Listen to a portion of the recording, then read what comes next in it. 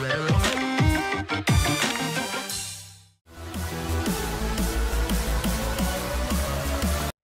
everybody and welcome again to Z-Code Sports System. Here we developed automated systems to help you win big and it doesn't matter what sport you're betting on, we've got it all for you right here.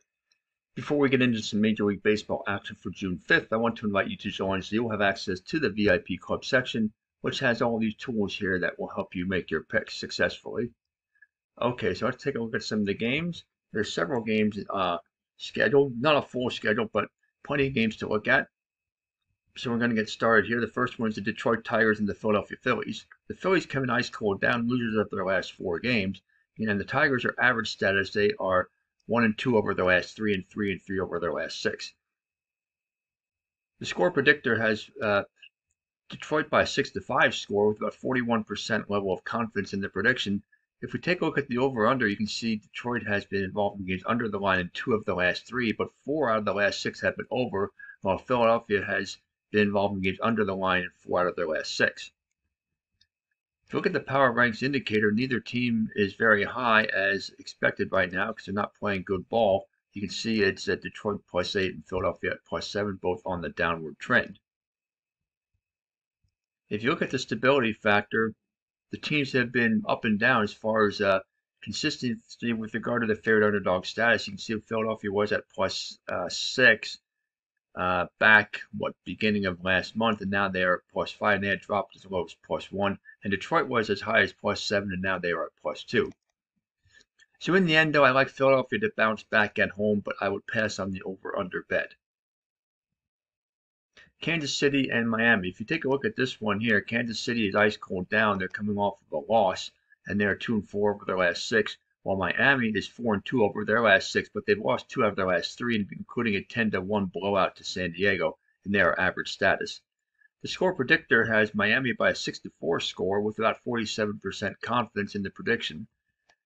Uh, as far as the over under goes, you can see Kansas City has not been scoring a lot of runs, and well, the other team hasn't either. They've been involved in a, a lot of low scoring games, for the last four under the line, while Miami has been involved in games over the line in four out of their last six. If we take a look at the power ranks indicator, you see Miami was up at plus 22 and they have taken the dip over the last few days and they are now at plus 16 while Kansas City was at zero and they've climbed up a little bit and now, now they are at plus 5.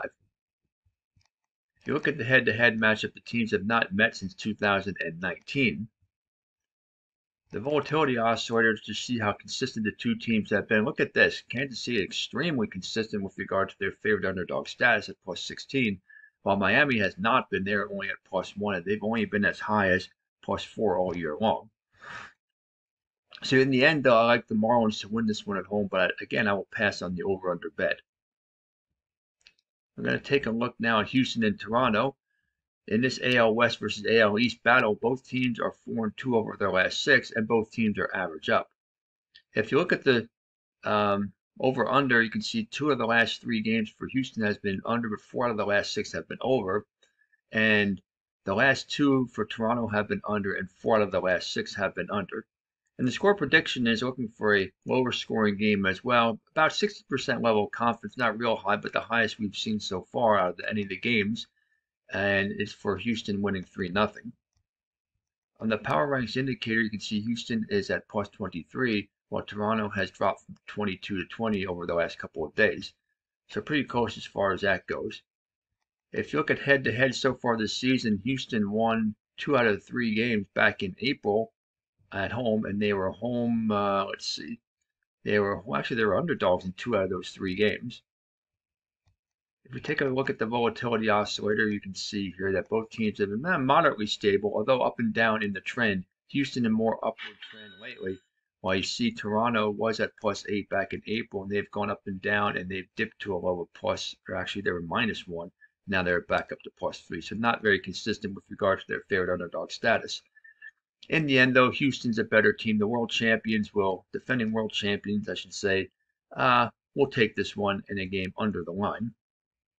Milwaukee and Cincinnati in this uh, NL Central matchup, we can see Milwaukee comes in ice cold down, coming off of a loss and, and just two and four over their last six, while Cincinnati is burning hot down. They have won five out of their last six games. Julio Teheran is scheduled to pitch for Milwaukee. You can see his record is 1 and 1 with a 0.82 ERA, and he has an excellent bet at plus $138. While Luke Weaver with a 5.36 ERA is going for Cincinnati, and he is a moderately good bet at, at $6 on Pitcher Profit Oscillator. If you look at the over under, the, uh, Cincinnati has been involved in games over the line in five out of their last six, while Milwaukee has been involved in games over in three of their last six. If you look at the power ranks indicator, Milwaukee is considerably higher at plus 22 compared to plus 11 for Cincinnati, who took a slight dip over the last couple of days. The score predictor likes Milwaukee by a 5 to 4 score with a pretty decent level of confidence, but not real high. It's still a little bit underneath the toss of a coin at 48%.